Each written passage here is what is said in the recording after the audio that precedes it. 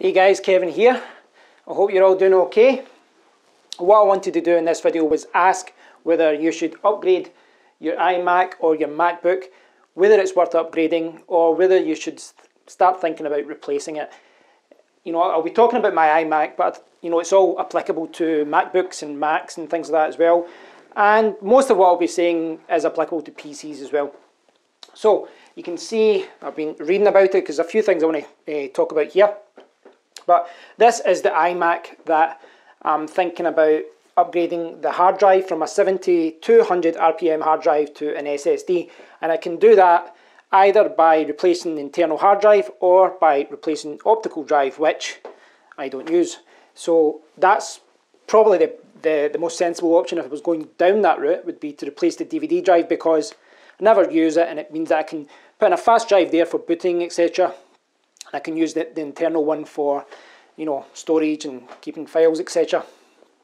Now, one of the reasons that myself and a lot of people raise this question about upgrading the iMac in particular is because it's a little bit of a pain. If I show you the, the upgrade guide, um, it's not impossible and it's not even the hardest, but what you need to do is you need to buy suction cups and then you need to replace the glass get it out. It's, it's definitely a lot trickier than it is with most computer systems, most PCs and most lap, uh, laptops. It's more of a pain, without a doubt. And if I look here, this is the crucial.com UK website.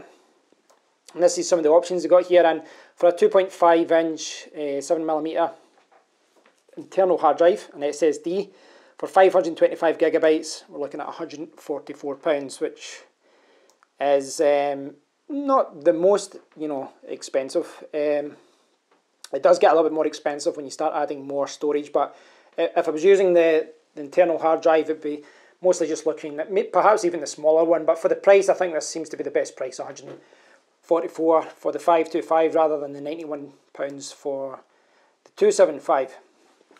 Now, the question isn't whether that's um, possible. I can go out and I can get the SSD drive, you know, and I can probably pay, it's probably about £10 or so for the suction cups and the little accessories you need to do to replace that. You know, if I had to just try and do this myself just now, I'd struggle and, you know, like taking the glass off because, you know, it's a little bit fidgety. But that's not a problem because there's lots of guides online and it doesn't look too difficult when you actually break it down. So if you're thinking about upgrading your iMac, adding in, you know, replacing the hard drive or replacing the optical drive and putting in an SSD to improve performance, then don't be put off by the, the whole taking off the screen and things like that. I think most people would be okay as long as you follow it step by step. But whether you should or not is the question. That's what I want to tackle in this video. Now, there's a few guys and a few of these uh, kind of articles about this. They all kind of give similar advice. And if you look down here, what they say, should I upgrade my, uh, upgrade my Mac or buy a new one? Zero to two years, uh, consider upgrading your current hardware. Um, it says two to four years, it's a toss up. So they're saying between two and four years, you should either upgrade or replace, and it's a toss up. And after four years, buy a new Mac.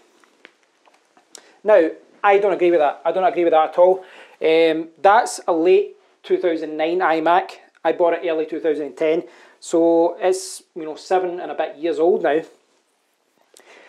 And I would put that in the two to four years bracket, as in, you know, now it's the time I should maybe, you know, it's a toss up whether I upgrade or whether I replace it. And I think saying that you need to replace your iMac after two years is insane, especially when you consider how expensive these things are.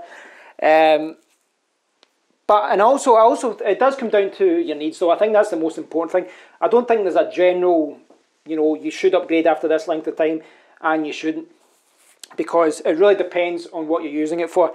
Now, before I started, you know, doing YouTube videos, before I needed to do video editing, this was perfect, and it, it kind of still is. You know, it handles videos okay. It's quad core, and it's a it's great for what I do online. You know, manage websites, a blog, I write, and things like that. The big screen's beautiful, and it still does everything you know that I needed to do. The problem is boot times. Now, it was about a month or so ago, maybe two or three months there was an upgrade for the iMac, you know, for uh, OS X, And during the upgrade, you know, even I wasn't even there, it was upgrading itself and it crashed. It was an absolute pain in the ass, and for whatever reason, the time machine backups weren't working. Eventually, I, you know, I had to clear it and then just tried to get all my files back. Since then, I've actually not been using it, so it's cleared and it's marginally quicker than before. I've got about 20, I came with 4 gigabytes of RAM, by the way, but I put in, I think I've got about 20 gigabytes of RAM, so it's fast in that regard. The problem that I've got with this is twofold. One being the hard drive that I'm thinking about replacing is that booting up is slow, and if I put it on, you'll see what I mean. Now, booting up, I don't think I even, I think I need to hold that more. There we go. Um, booting up is slow, but the actual screen comes on fairly quickly. It's once the screen, you know, the it all loads up, the still you still hear the hard drive spinning round for a good couple of minutes afterwards, and it takes a little bit of time.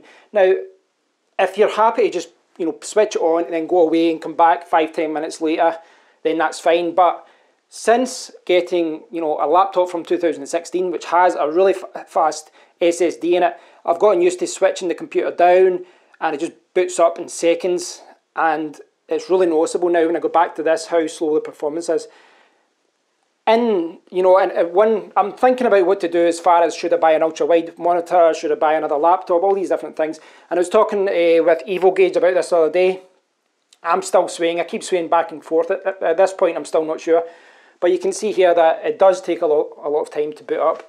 And there's pretty much nothing on this now. Pretty much nothing on it. All the files that I did have that I could salvage are on the Time Machine backup that I've got there. There's nothing really on it. I've installed my applications again. Um, and you can see it's still loading up. Now, I don't actually have that plugged in at the moment. I've got it plugged into this one. Um, but you can see there, once it's actually loaded up, you can probably still hear it a little bit.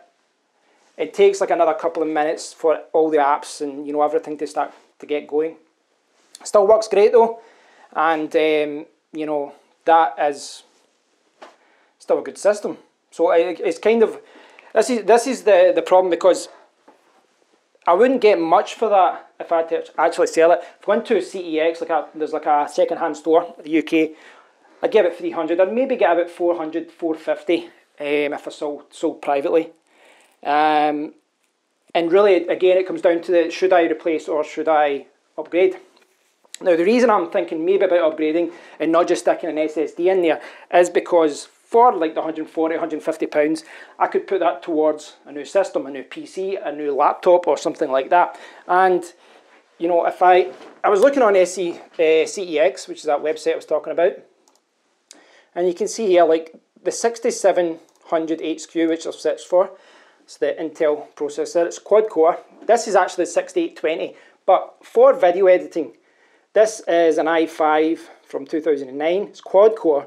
It does handle video okay, there's, there's not too much stuttering, uh, uh, it, it encodes okay, but I found that when I started encoding videos through this one, I was encoding videos about four to five times quicker.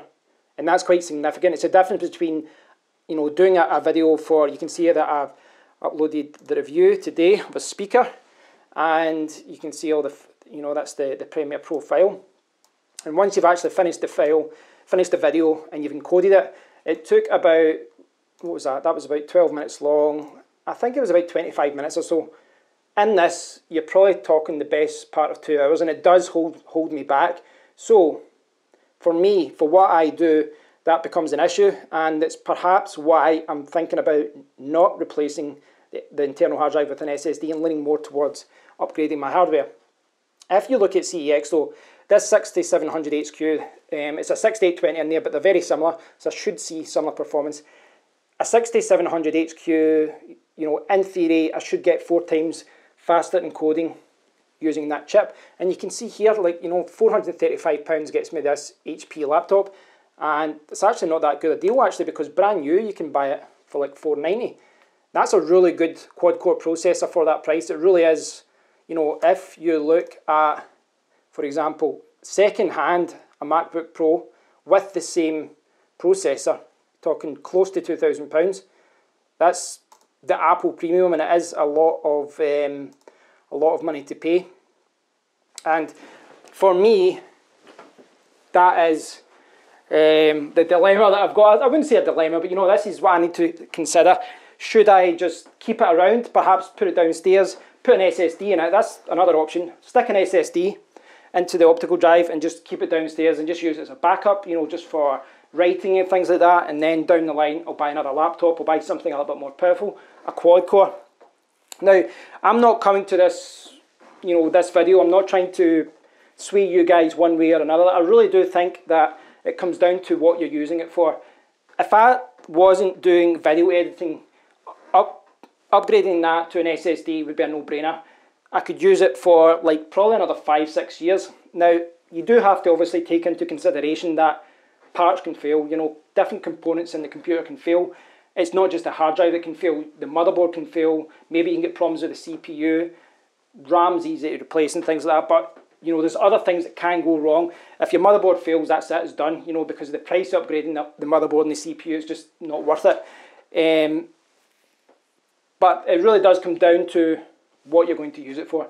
So if you have an iMac, you might have something from anything from, or a, a MacBook as well, anything from say 2007 onwards, you're going to get a huge jump in performance if you've got an older drive, a spindle drive, and you want to replace it with a fusion drive, a hybrid drive, or an SSD. You're going to see a huge performance jump, but it does come down to what you're using it for. For me, I'm swaying towards either just keeping it and buying another laptop and keeping it downstairs, kind of taking out my work equation here and keeping it as a backup downstairs, or just selling, selling it, buying another, you know, buying a good monitor or buying two monitors and just buying a good laptop with a good CPU.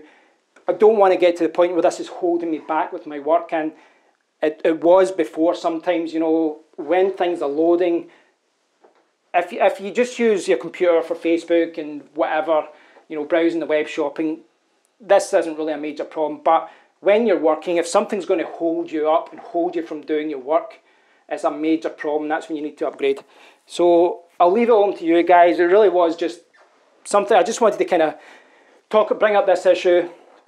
And for me, I don't think I don't subscribe to this. By the way, again, you know, I was saying that, but I don't subscribe to that. That two to four years, and you should be thinking about, you know, replacing your iMac. That's insane.